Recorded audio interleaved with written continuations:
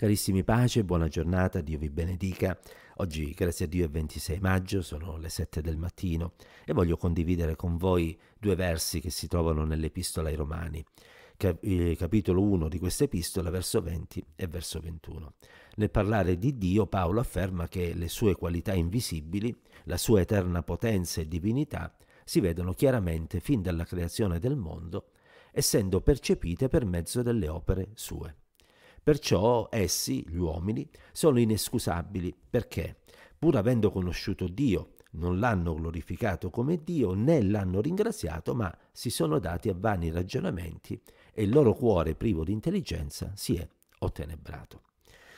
Chissà quante volte abbiamo sentito dire delle persone Dio non esiste. E da altri, se Dio esiste, venga, si faccia vedere, allora io riconoscerò che Lui c'è.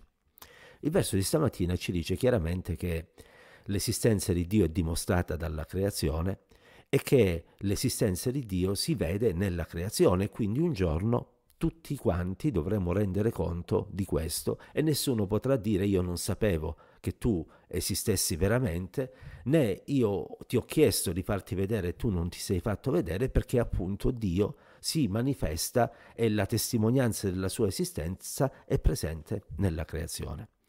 Il problema quindi non è la rivelazione di Dio, perché Dio si rivela già nella natura. Il problema è il fatto che gli uomini, pur realizzando che un Dio deve pur esserci, appunto tramite la testimonianza della creazione stessa, preferiscono negare la sua esistenza, darsi a vani ragionamenti e anziché ringraziarlo, cercarlo e sottomettersi, seguire le proprie vie e le proprie opinioni. Dio c'è dunque, la natura ci testimonia della sua esistenza e questo ci deve aiutare ad avere un giusto rapporto con la creazione. Nel guardarla, nell'ascoltare i rumori della natura, dovremmo essere ogni giorno grati e riconoscenti a Dio e soprattutto dovremmo ogni giorno magnificare il nome, la sapienza, l'intelligenza e la grandezza di Dio.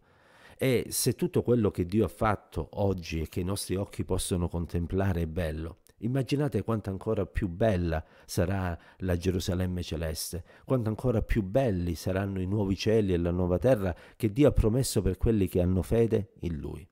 Perciò ci dia il Signore un cuore intelligente per poter riconoscere che Dio c'è. Ci dia il Signore un cuore intelligente per poterci sottomettere alla Sua parola. E ci dia un cuore intelligente anche affinché possiamo accettare Cristo nella nostra vita come nostro Salvatore perché se è vero che la Gerusalemme celeste sarà magnifica e altrettanto i nuovi cieli e la nuova terra, è altrettanto vero che lì vi entreranno soltanto coloro che avranno fatto di Cristo il proprio Signore e Salvatore. Perché questo? Perché tutti quanti noi esseri umani, tutti abbiamo peccato, anzi tutti siamo peccatori e siamo di conseguenza privi della gloria di Dio.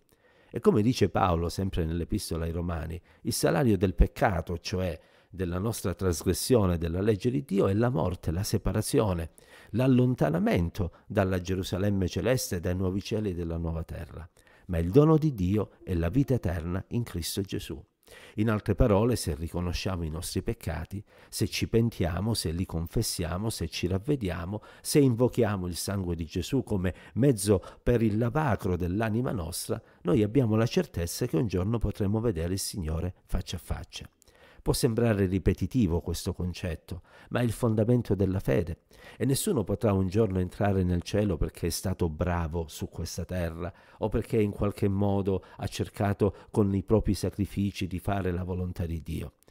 La Bibbia ci parla di un uomo, mm, si chiamava Cornelio, era un centurione romano, e ci dice che questo uomo era pio, era timorato, faceva le elemosine, pregava il Signore, cercava in tutti i modi di vivere una vita che gli potesse essere gradita. Eppure leggiamo che Dio mandò Pietro da lui affinché gli annunziasse il Vangelo di Gesù Cristo e affinché questo uomo pio, timorato, bravo, rispettabile, onesto, eccetera, potesse riporre la sua fede non in quello che lui aveva fatto, ma in quello che Cristo aveva compiuto sulla croce. E se Cornelio ha avuto bisogno di un Salvatore, anche io e te abbiamo bisogno di un Salvatore, esattamente come qualsiasi uomo di questa terra. Perciò nel riconoscere che Dio c'è ed esiste, così come ci è testimoniato dalla creazione, vogliamo altresì riconoscere che tutti quanti noi abbiamo bisogno di essere salvati dall'ira di Dio a venire attraverso il sacrificio di Cristo. Ed ecco perché ogni giorno ci dobbiamo in Lui rifugiare ed ogni giorno ci dobbiamo appellare a Lui per poter essere certi che quando compariremo dinanzi a Dio non saremo gettati nell'inferno, ma potremo entrare nei nuovi cieli, nella nuova terra, nella Gerusalemme celeste che Egli ha preparato. Concludendo, ogni giorno nel guardare un'aurora, un tramonto, nel vedere le bellezze della natura, diamo gloria a Dio. E ogni giorno, quando ci troviamo a compiere qualcosa che a Dio non piace, chiediamo perdono a Dio e camminiamo con un cuore grato per tutto quello che il Signore è e per tutto quello che il Signore fa. Entreremo nel cielo, saremo con Lui per l'eternità e godremo della nuova creazione che Egli ha preparato per quanti su questa terra lo avranno amato, cercato e temuto. Che Dio ci benedica e ci accompagni ancora oggi.